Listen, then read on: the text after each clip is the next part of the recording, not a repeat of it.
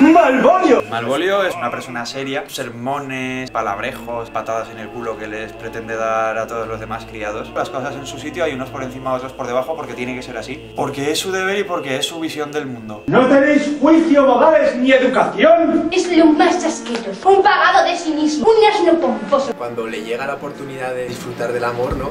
Como completamente pierde un poco los estribos, ¿no? Un deseo muy profundo sería poder disfrutar de esas cosas que no se permite disfrutar. Cuchillo de Lucrecia, incruento el corazón me ha traspasado. ¡Seré con Malvolio!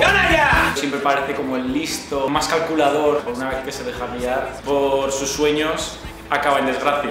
Todos los actores que hacemos un personaje así desgraciado nos sentimos identificados con Malvolio. Para ser mayordomo se piensa que moralmente estará muy por encima de muchas otras personas.